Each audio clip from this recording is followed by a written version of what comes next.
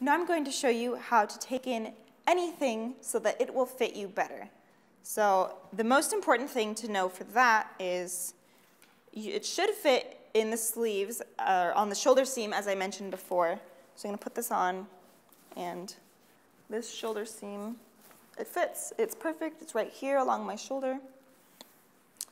And what I would do for the rest of the garment to make sure it fits, I actually love doing this. I, I usually take men's dress shirts and then I make them more narrow so that they fit my figure, but then they're long enough so I can wear them with leggings. I enjoy doing that. All you have to do, this, this dress shirt actually has stitching already here.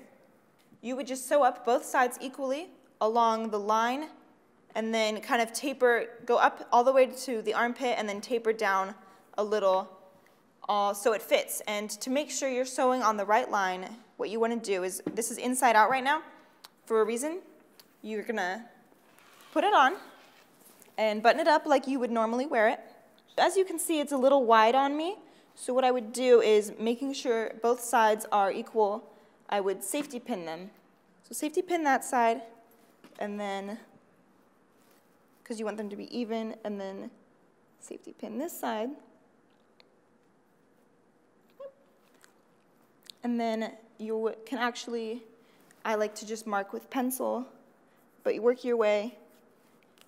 Uh, you can't really see the line, but you would draw a slight line all the way up where you want it to sew, all the way down. You can also use a friend to help with this since drawing on yourself can be a little difficult. And then you would take it off, and then take it to your machine and sew it right up. And you would have a much better fitting garment.